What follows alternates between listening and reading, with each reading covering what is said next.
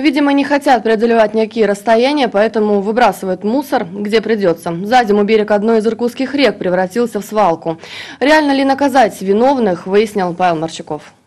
По синему морю к зеленой земле может в любой момент уплыть эта льдина с мусором. Хотя на самом берегу Иркута ситуация не лучше. Бутылки, картон, бытовой мусор лежит здесь повсюду. Складывается ощущение, что мусор здесь разгружали машинами. Такая ситуация явно не устраивает Василия Пятина. Он прожил рядом с рекой больше 25 лет. И сегодня, во время прогулки, не может узнать родные места. Ну, раньше вот детство, когда, да, вот 90-е вот эти года, ну не было такого.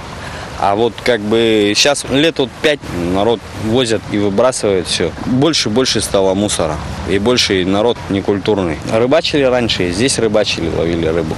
Ну а сейчас, да, конечно, какая здесь рыба. Поставила неудовлетворительную оценку берегу реки Малый Иркут и представитель городской администрации Наталья Ступина. Все кучи она зафиксировала. И даже после такого поверхностного осмотра становится понятно, затягивать с уборкой берега нельзя. Будет организован субботник э, по, с привлечением, я думаю, общественности, либо, э, значит, э, силами специализированной организации муниципальная будет все убрано. Я думаю, что в ближайшее время, а, ну, в апреле это точно. В прошлом году с берегов иркутских рек было вывезено около трех с половиной тысяч грузовиков мусора, но даже такие усилия жители Иркутска могут свести на нет. Кроме уборки этого берега, представители городской администрации планируют провести рейд по организациям, которые находятся неподалеку от этой свалки.